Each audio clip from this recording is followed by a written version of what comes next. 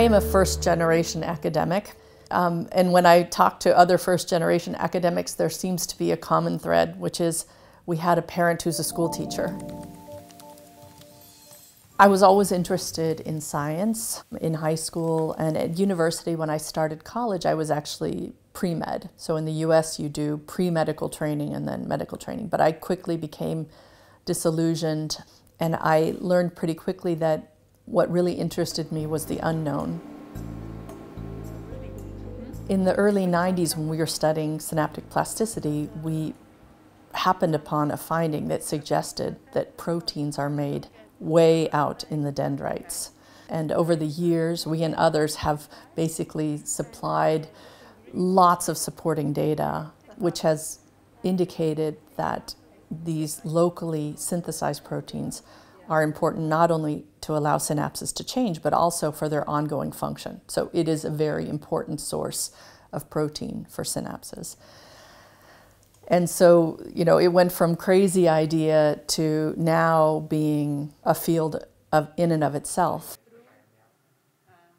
I, like many other people, are interested in social behavior and, in dominance hierarchies in animals. And so my graduate student, Lukas Anneser, did a very simple experiment. He isolated fish and isolated them for variable periods of time. And what we discovered was a very small number of genes that are downregulated in response to social isolation. But the really interesting thing that came out of the study was when we tried to figure out how the fish were sensing others. And what we discovered was that they're physically feeling the other fish. Winning the FEBS EMBO Women in Science Award is a huge honor. It's an honor for two reasons. One, for acknowledging our science.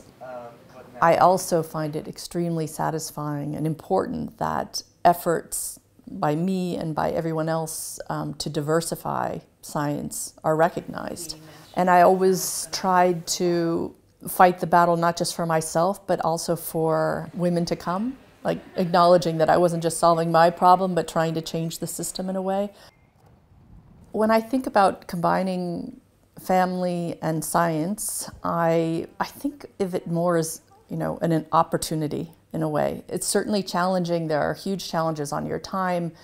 You, one can feel that um, both family and science are disappointed in a way that, you know, you're not doing anything well. But I, I try to always keep those kind of feelings at bay and more focus on, you know, how wonderful it is to have the incredibly rewarding experience of having a family and children, but also to have an intense and satisfying and passionate career.